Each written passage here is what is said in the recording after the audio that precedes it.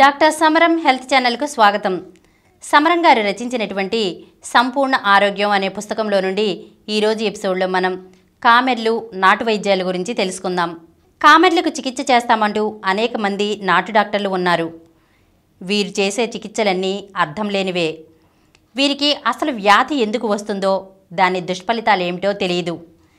ఎటువంటి వైద్య విజ్ఞానం వీరికి ఉండదు. చాలా వ్యాధులు వాటంతటికవే తగ్గిపోతాయి. అలా తగ్గిపోయే వాటికి నాటు వైద్యం చేయించుకోవడం వలన తగ్గిందని. నాటు వైద్యానికి నాటు వైద్యునికి గౌరవాన్ని ఆపాదిస్తే తప్పే అవుతుంది. ముఖ్యంగా పచ్చకామెర్లు వచ్చినప్పుడు పసర్లు వాడతారు. వీటి వలన కొందరిలో లాభం లేకపోయినా హాని కనబడదు. కానీ కొందరి విషయంలో అలా అనుకోవడానికి కుదరదు. రకరకాల పసర్లు వాడినప్పుడు వాటిలోని కొన్ని పదార్థాలు కాలేయం మీద దుష్ఫలితాలు కలగజేస్తాయి. కాలేయం ఆరోగ్యంగా ఉన్నప్పుడు ఎన్నో విష పదార్థాలు విషరహితంగా మార్చివేస్తుంది. కానీ కాలేయం అనారోగ్యంగా ఉన్నప్పుడు ఈ పని చేయలేకపోతుంది.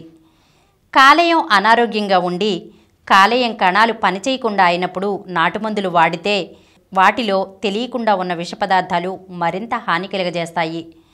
దాంతో వ్యాధి తగ్గకపోగా మరింత ముదురుతుంది. మూలికలు పసర్లు విషరహితం అనే అపోహ కొందరిలో ఉంది. కానీ అది సరైన అభిప్రాయం కాదు. మూలికల్లో పసరులో కూడా కాలేయానికి గుండెకు నాడీ మండలానికి మూత్రపిండాలకి హాని కలిగించే విష పదార్థాలు ఉన్నాయి.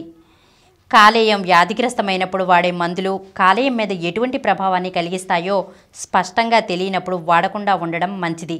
మామూలుగా వాడే సల్ఫా టెర్రామైసిన్ మరికొన్ని యాంటీబయాటిక్స్ తలనొప్పి బిళ్ళలు కీళ్ళ నొప్పులు కండరాల నొప్పులు చీడలు హార్మోన్ ఇంజెక్షన్లు బిళ్ళలు కాలేయాన్ని మరింత దెబ్బతీస్తాయి.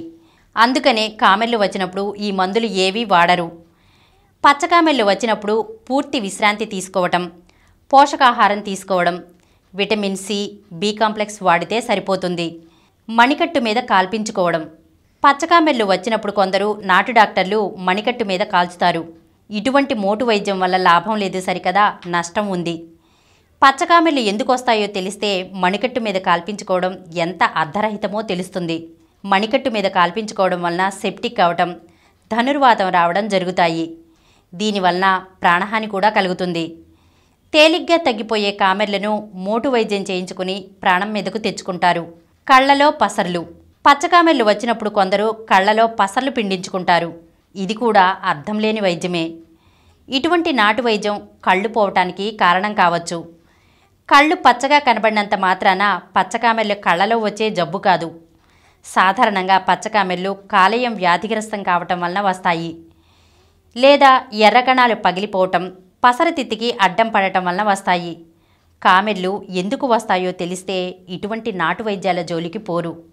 ఈరోజు ఎపిసోడ్లో కామెర్లు నాటు వైద్యాల గురించి తెలుసుకున్నాం కదా? వచ్చే ఎపిసోడ్లో జ్వరాలు సీజన్ మార్పు వ్యాధులు ఫ్లూ జ్వరం గురించి తెలుసుకుందాం. Thank you